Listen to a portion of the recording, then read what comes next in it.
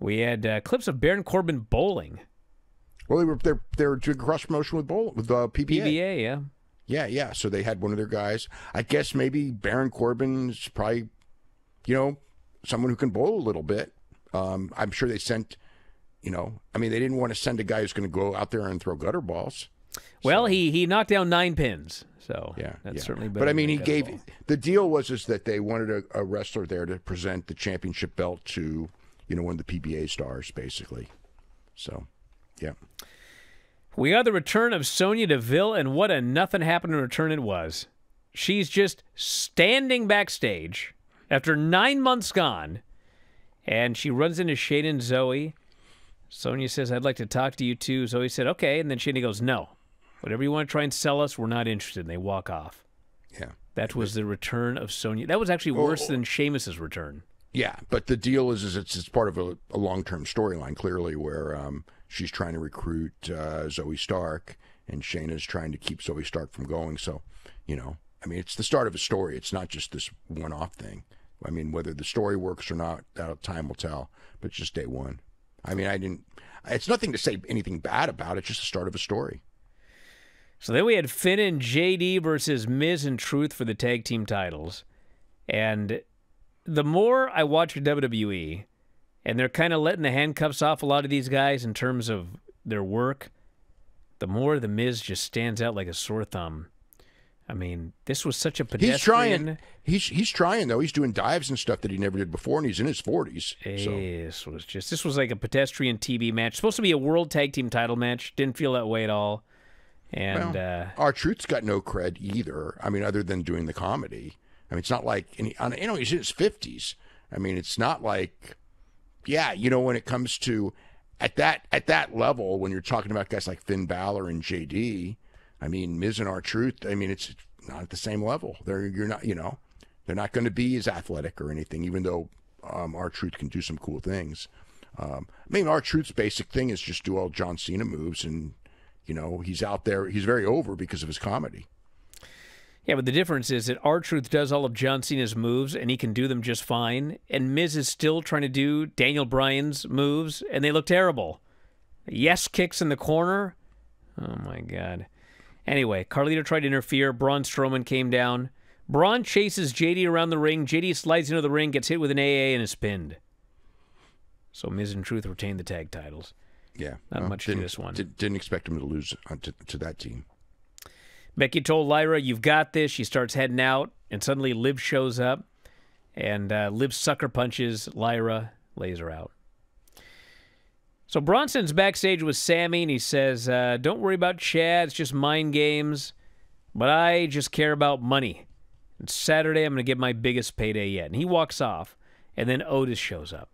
Sami says, "Look who it is! The guy who cost me the match. I expected better out of you.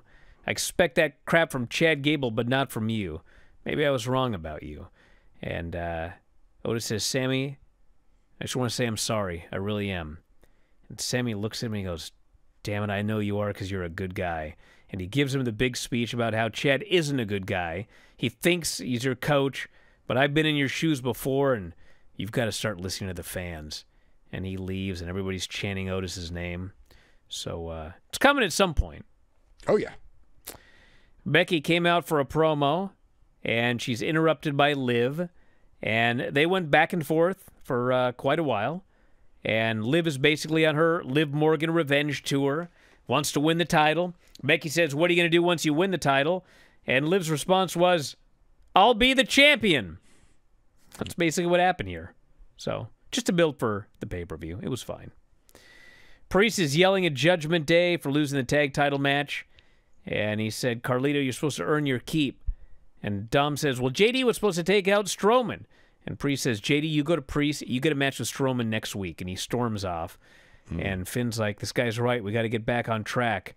And he demanded JD go talk to Priest. So JD and Braun Strowman next week on Raw. well, it'll be quick.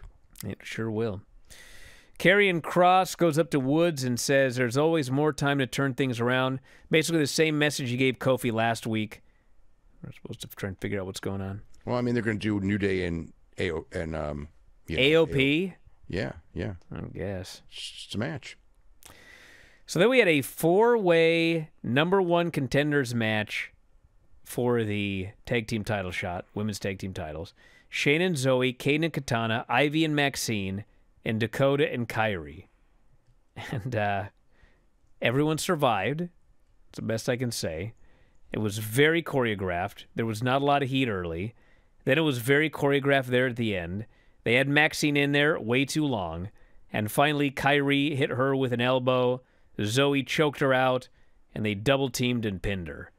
So, uh, Zoe and Shayna, number one contenders for the women's tag team titles. So they'll be wrestling Jade Cargill and Bianca Belair relatively soon. Yep. We had Kaiser doing an interview, and he buried Sheamus, so they're going somewhere with that one. And then Drew McIntyre showed up and cut a promo about the upcoming match at some point with Damian Oh, Priest. it's, going to be Glasgow. Glasgow, yeah.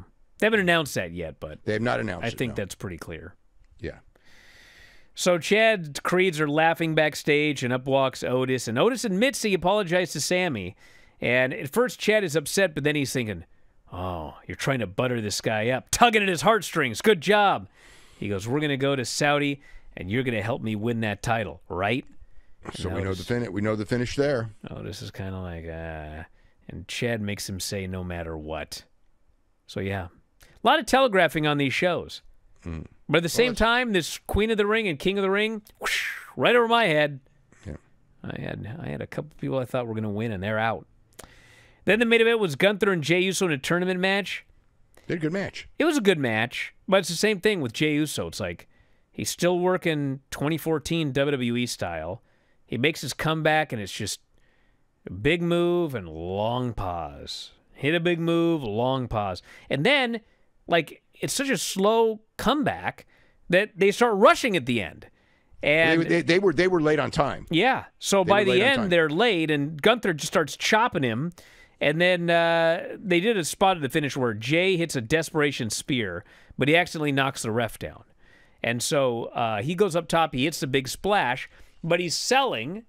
And then by the time he gets there, the ref kind of wakes up. So they didn't do the thing where like the ref is down and the you know the crowd's chanting to 30 because Gunther's down. The ref is only a little bit slow, but he's slow enough that Gunther kicks out. And then they were totally late. And so Gunther kicks out of the guy's finish and then just chops him, grabs him, puts him in a head and arm, and the referee stops it, and they're off the air. Yeah, So Gunther beat him, you know, clean real clean. with a new finish. yeah, real clean. And I was I was pretty surprised by how clean they beat Jey Uso. I was very surprised. I mean, I I was, wouldn't have been surprised at, at all at Gunther winning, but I was very surprised how clean it was because, I mean, realistically, you know, until Punk gets back or Rollins gets back, Jey's the number one babyface. Not only that, he's the one number one babyface, and he actually is one of the most over guys on all of Raw. They've been yeah. pushing him as one of the biggest stars. The interviews are all about what a huge star he is, and they just beat him clean.